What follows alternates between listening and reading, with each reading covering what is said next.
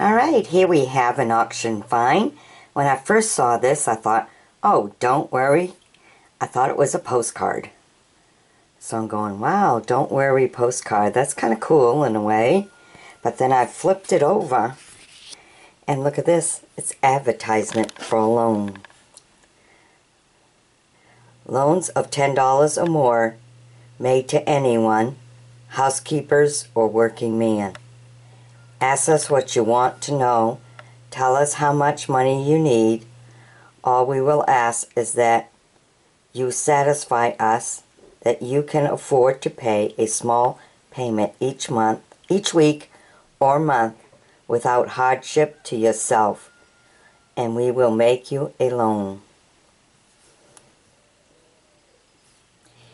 If you feel the need of a little ready money quickly, confidentially at a reasonable cost, you should call us first. East Liberty Loan Association. So this was a nice little advertising. Look at that. Because I don't have the year. Bell phone. 3925. Huh. Wow. Okay, so now you know that this really, really is old. Because look at that. Bell phone. 3925. For a phone number to be that, that's how old this is.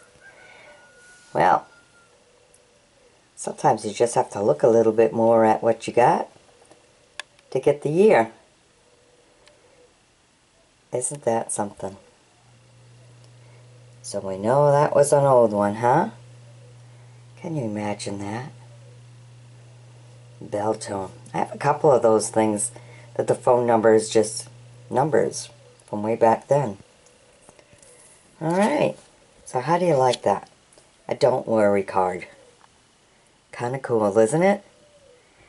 Just sometimes when you go to auctions and stuff, you find very interesting little things. Of course, what's interesting to one may not be to another, but this was kind of cool to find. So don't worry. Bye-bye now.